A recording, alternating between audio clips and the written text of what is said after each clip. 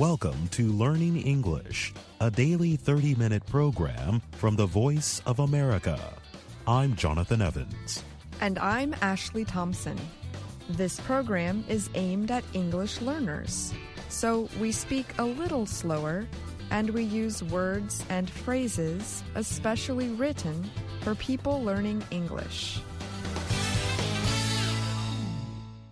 Today on the program, you will hear from Susan Shand and Bryan Lynn. Later, we will present our American history series, The Making of a Nation.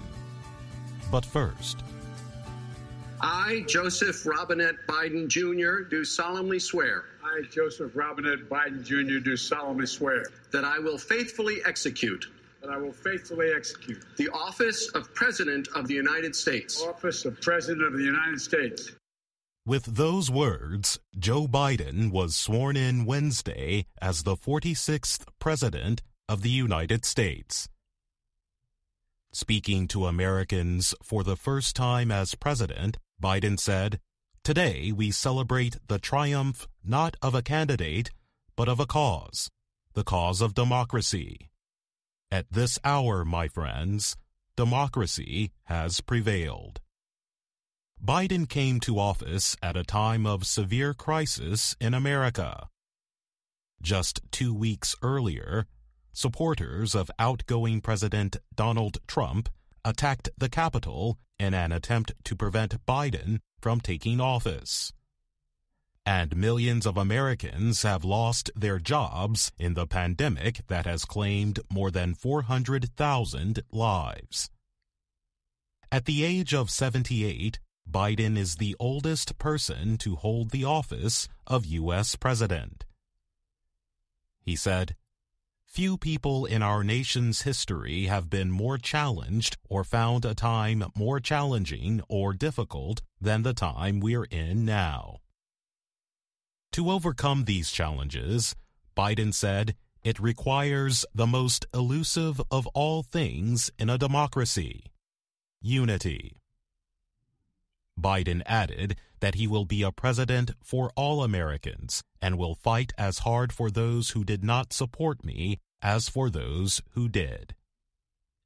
Surrounded by his wife Jill and family members, Biden placed his left hand on the Bible that has been in his family for 127 years. He then took the oath of office from U.S. Supreme Court Chief Justice John Roberts just before noon Wednesday.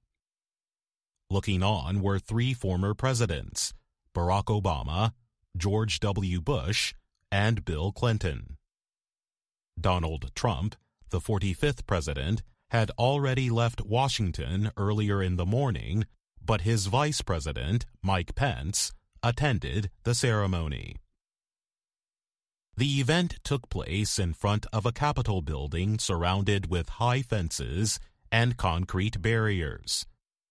About 25,000 National Guard troops and other security forces were brought in to protect the city. On the National Mall, 200,000 flags were placed to represent the usual crowd members who could not attend. Biden and Harris had asked Americans to watch the inauguration at home because of the coronavirus pandemic. The day included performances from singers Lady Gaga, Jennifer Lopez, and Garth Brooks. A 22 year old poet, Amanda Gorman, noted that while democracy can be permanently delayed, it can never be permanently denied. She added, For while we have our eyes on the future, history has its eyes on us.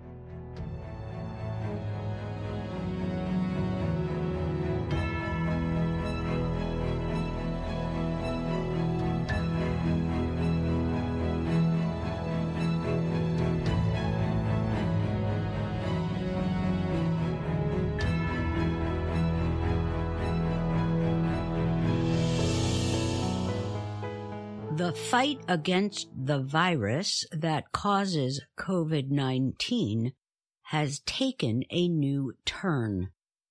reports of mutations are appearing quickly.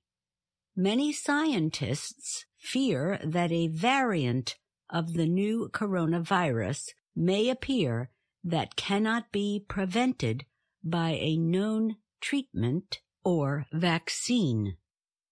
The genes of the coronavirus are changing, and health officials say the high number of new cases is the main reason.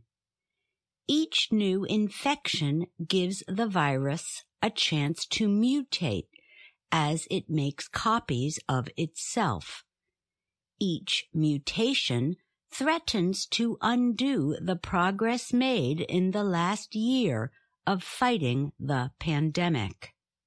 On Friday, the World Health Organization urged more efforts to find new variants.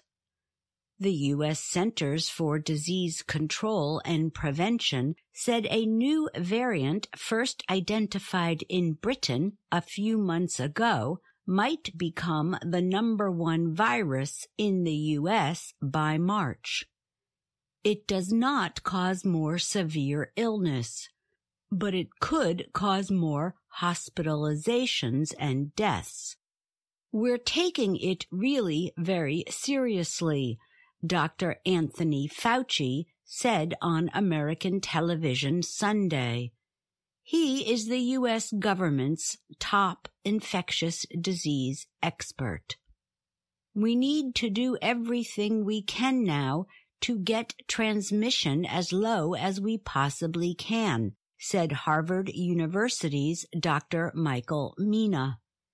He said that the best way to stop mutations is to slow the spread of the virus.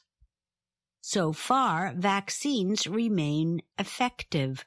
There are, however, signs that some tests and drug treatments may not work with the new variants. The virus may create a mutation that makes it more dangerous, said Dr. Pardis Sabeti.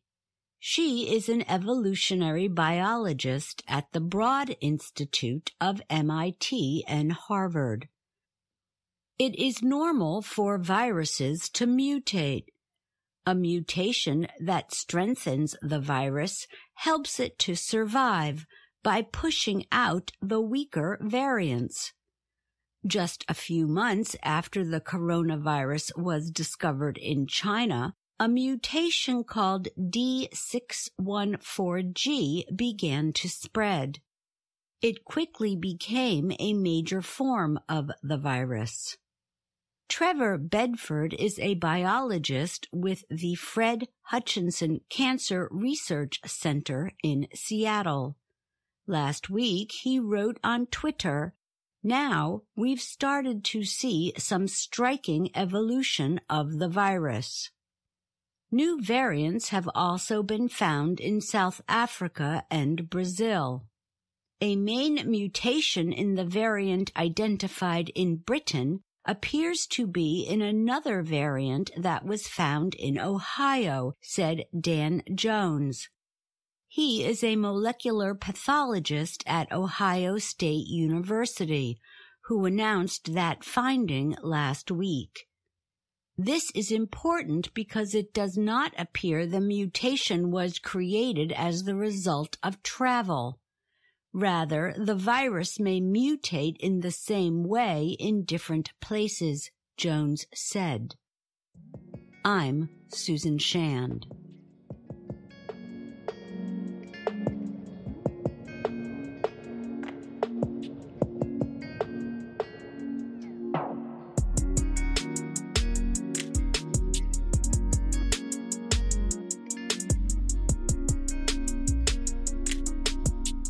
Like so many other things over the past year, the world's largest consumer electronics show, CES, looked very different in 2021. The popular conference usually takes place in Las Vegas, with thousands of people attending. But the physical conference was canceled this year because of the coronavirus crisis. CES organizers, however, decided to hold a virtual CES show for the first time. Here are some of the top technology trends presented by companies at this year's online event. Many new technologies created to help fight the coronavirus were found at this year's virtual show. Several companies demonstrated new disinfecting robots. The South Korean manufacturer LG introduced a self-moving robot that sends out ultraviolet light designed to kill viruses on heavily touched surfaces. LG also presented a wearable air purifier and a device that can be carried around to purify air in a car or office. A German company called AirPop showed off its Active Plus smart mask. The device measures breathing movements and tests the quality of surrounding air. Several companies are also now offering touchless appliances and other products for the home. Kohler and Toto both showed touchless sinks and toilets that can be controlled by hand movements or by speaking to voice assistant technology. Each year at CES, major television manufacturers present the latest industry technologies that could one day be included in everyone's home TVs. In addition to the yearly offerings of bigger, brighter, and sharper TVs, LG Display showed off a smart bed. The product includes a see-through TV that rises up from the bed structure. Another version of that TV is designed for use in restaurants. It would permit guests to look at the list of available foods while watching food being prepared behind it. LG has also announced a bendable TV version that can change its shape on demand, a creation designed for gamers companies showed several 5G products in 2021 after years of promises that the wireless technology would connect devices in new, super-fast networks. Verizon chief Hans Vestberg gave the main speech to open the show. He spoke about the next generation of high-speed wireless technology and what it can offer for telemedicine, distance learning, and other uses.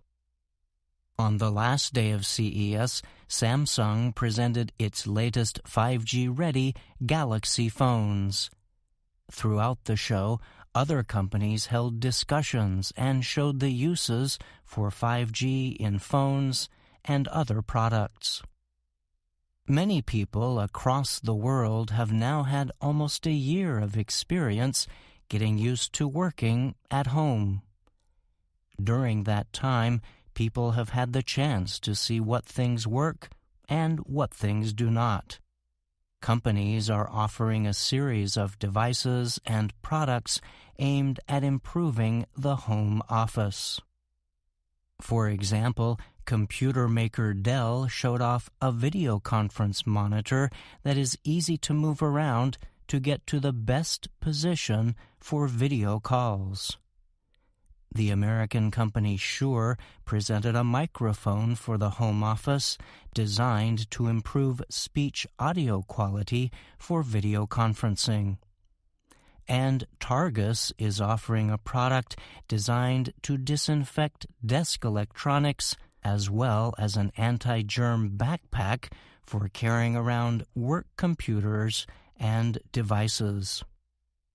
This year's CES provided an early look at the latest in electric and self-driving vehicle technologies.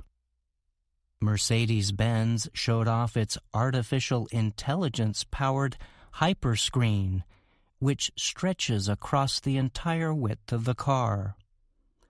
The device can answer voice commands and lets the driver and front seat passenger do things like make a phone call or activate seat settings. Fiat Chrysler offered interactive, three dimensional or 3D virtual tours of its cars and technology. The company also worked with Google to create an augmented reality model of its Jeep Wrangler 4xe electric and gas vehicle that people can see on their phones. I'm Bryan Lynn.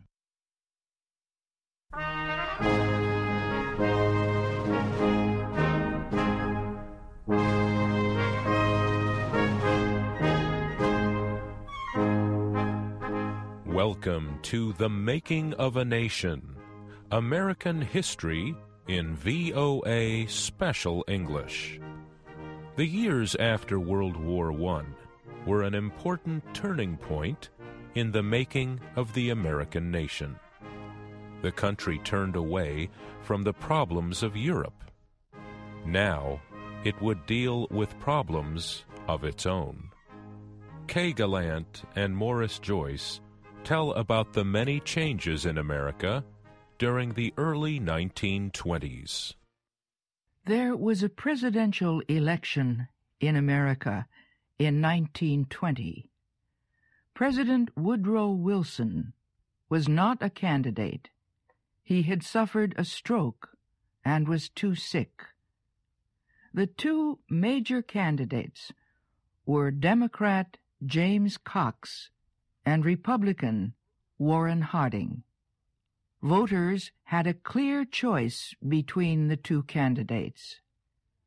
Cox supported the ideas of President Wilson.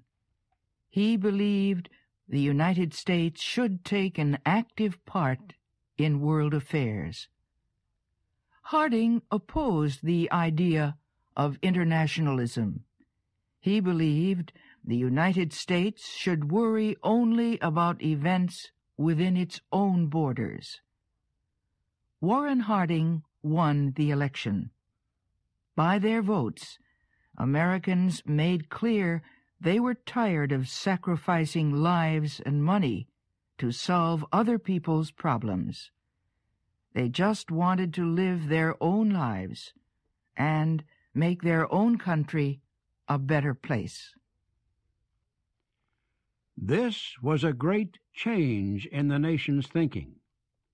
For twenty years since the beginning of the century, the United States had become more involved in international events. Young Americans had grown up with presidents like Woodrow Wilson and Theodore Roosevelt. Both Wilson and Roosevelt had active foreign policies. Both helped start the nation on the road to becoming a major world power. Then came World War I. It was like a sharp needle that burst a balloon.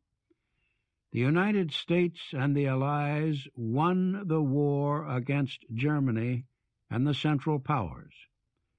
But thousands of American troops had died in the European conflict, and many months were taken up by the bitter debate over the peace treaty and the League of Nations.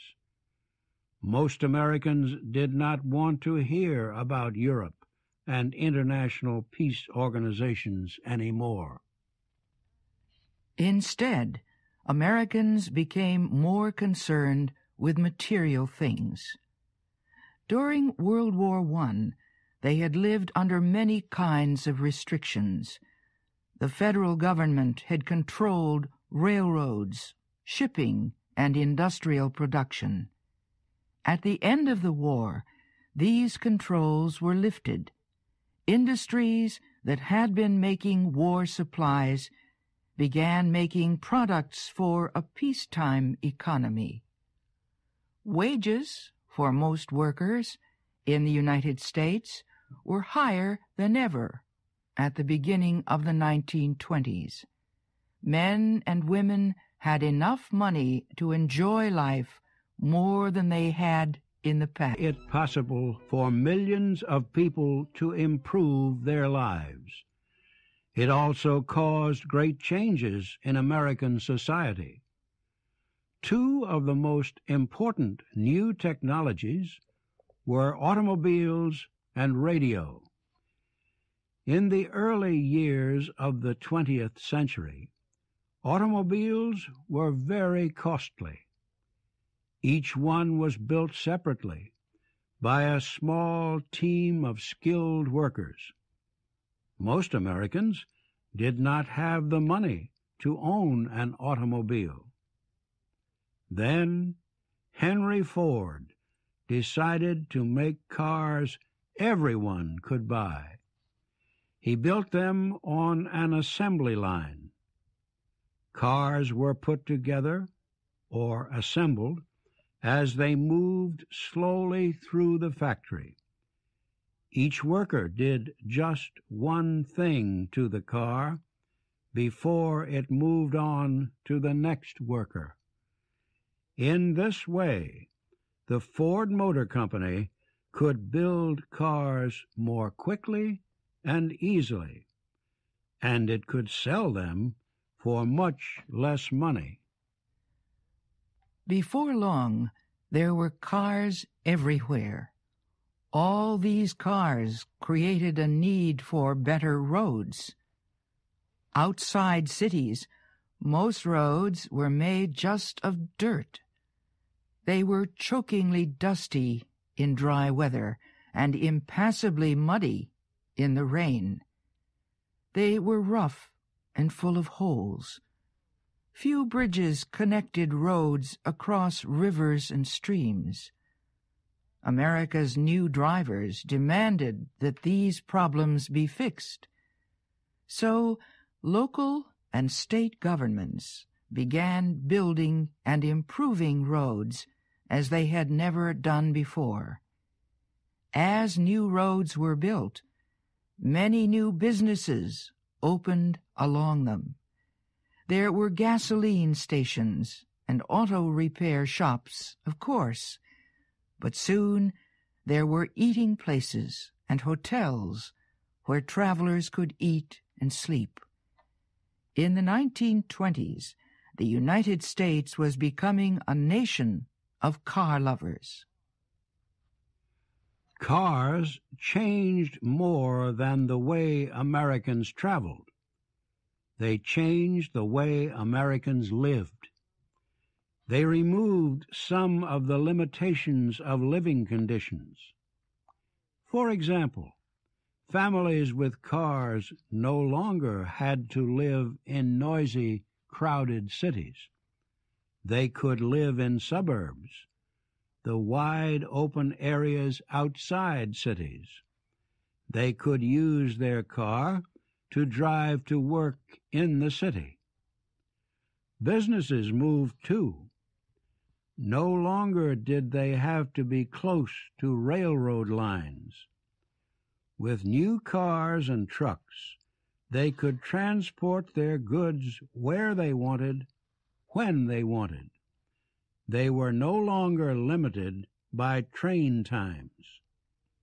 Cars also made life on farms less lonely.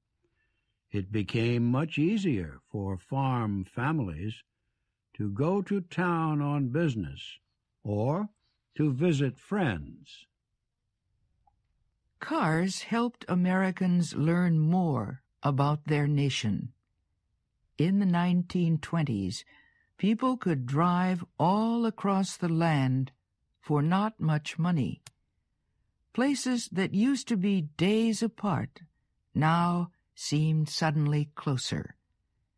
Families that normally stayed home on weekends and holidays began to explore the country.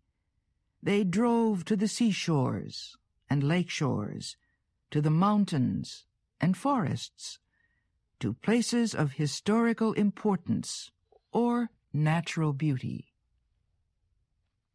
Not all the changes linked to the car were good, of course.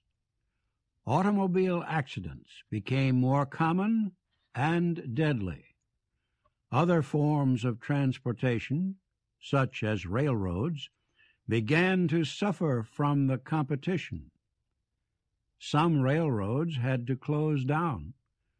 Horses and wagons, once the most common form of transportation, began to disappear from city streets.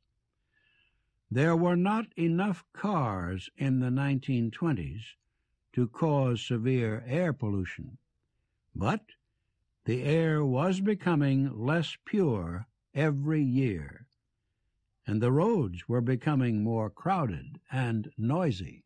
Greatly changed America's transportation. Radio greatly changed its communication. The first radio station opened in the state of Pennsylvania in 1920. Within 10 years, there were hundreds of others there were more than 13 million radio receivers. Most of the radio stations were owned by large broadcasting networks. These networks were able to broadcast the same program to stations all over the country. Most programs were simple and entertaining. There were radio plays, comedy shows, and music programs. But there also were news reports and political events. Millions of people who never read newspapers now heard the news on radio. Citizens everywhere could hear the President's voice. Like the automobile, radio helped bring Americans together they were able to share many of the same events and experiences. Radio also was a great help to companies. Businesses could buy time on radio programs for advertisements. In these ads, they told listeners about their products. They urged them to buy the products cars, electric refrigerators, foods, medicines. In this way, companies quickly and easily created a nationwide demand for their goods. Automobiles and radios were not the only new technologies to change American life in the days after World War I. Still, one more invention would have a great effect on how Americans spent their time and money. That was the motion picture. And that's our program for today. Listen again tomorrow to learn English through stories from around the world. I'm Jonathan Evans. And I'm Ashley Thompson.